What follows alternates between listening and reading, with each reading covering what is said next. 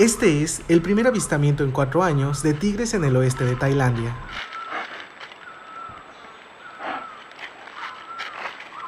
La Organización de Defensa de los Felinos Salvajes Pantera hizo pública una serie de videos obtenidos con cámaras de alta definición ocultas en la jungla,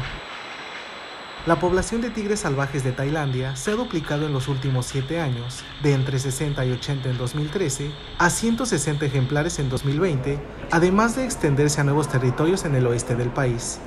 Coincidiendo con el Día Internacional del Tigre, autoridades de Tailandia aseguraron que el aumento en la población de estos felinos se debe al duro trabajo de los guardas forestales y la dedicación de las personas interesadas en la conservación de los tigres.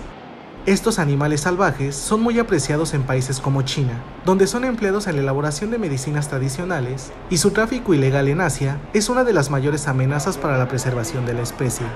Los proyectos mineros masivos, la construcción de presas o la destrucción de su hábitat para crear cultivos figuran entre las principales amenazas a esta especie.